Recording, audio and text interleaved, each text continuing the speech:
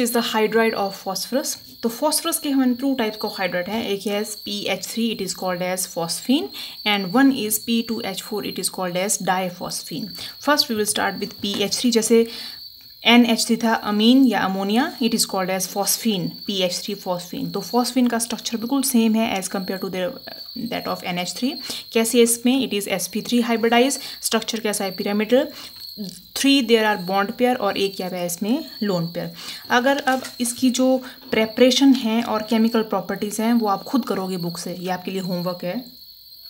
ठीक है?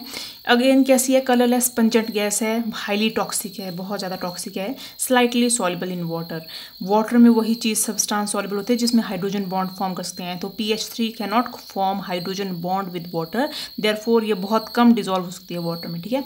अब इसमें मैं सिर्फ़ आपकी यूजेज बताऊँगी, बाकी जो सिंथेसिस है और केमिकल प्रॉपर्टीज़ हैं, वो खुद पढ़ूँगी आप। सबसे इंपॉर्टेंट सिग्नल क्या it is use as a signal in sea समुद्र में जब जहाज़ चलते हैं तो आगे कोई चट्टान वगैरह तो नहीं आ रही है। उसके लिए सिग्नल है। That is called as Holme signal in the sea ठीक है? करते क्या है हम? कैल्शियम कार्बाइड कैल्शियम फॉस्फाइड ये दो चीज़ें लेंगे। कैल्शियम कार्बाइड कैल्शियम फॉर्बाइड का मिक्सचर लेंगे और उसको समुद्र के पानी में डाल देंगे। मतलब सी वाटर में डाल देंगे। जैसे सी वाटर में डालेंगे the result they react with water to form calcium hydroxide यहाँ पे भी कैल्शियम ऑक्साइड।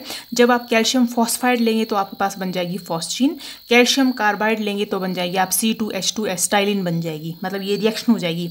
आपने कैल्शियम फॉस्फाइड और कैल्शियम कार्बाइड का मिक्सचर लिया, उनको सी वाटर में डिप कर दिया।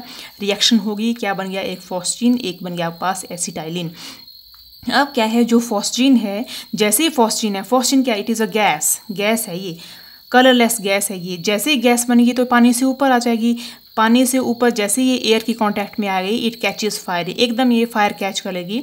जो भी इसने फायर कैच कर ली होगी, उससे ये किसको जला देगी? एसिटाइलिन को जला देगी। तो acetylene will catch fire in by P H three जो भी फायर इसने कैच की, वो क्या यूज़ होगी? It is use as a signal for ships in the sea is it clear दूसरा एक और मेथड है कि अगर आप पी एच थ्री को हीट करें या इसको बर्न करें, जैसे इसने फायर कैच की, ये बहुत ज़्यादा स्मोक क्रिएट करती है, धुआँ क्रिएट करती है। तो it is use as a smoke screen use करते हैं इन वॉरफेयर्स पढ़ेंगे आप स्मोक स्क्रीन क्या होती है आप सर्च करना, जरा वट इज़ स्मोक स्क्रीन ठीक है?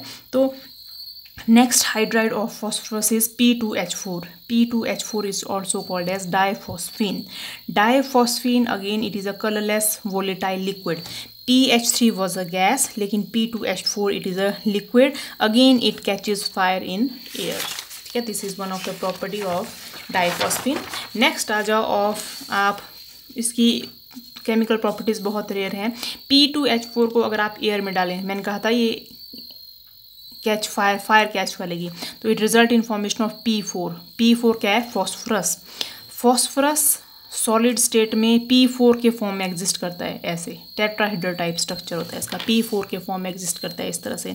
तो it form P four and P H three अगर इसको फिर से आप एयर की पढ़ें तो it result in formation P two O five and water जैसे हमने हाइड्राजीन और अमोनिया क्या थे? रिड्यूसिंग एजेंट्स थे, वैसे ही phosphine it is also di phosphorus di क्या चीज़ है ये? Diphosphine it is behaving as a reducing agent reducing agent मतलब इसने, इसको क्या कर दिया? रिड्यूस कर दिया हाइड्रोजन दे दिया इसको तो इससे क्या बन गया? पास वाटर अगर इसका स्ट्रक्चर देखूँ तो again it has a unsymmetrical structure and unsymmetrical structure is of this type ठीक है? तो this is all about the phosphine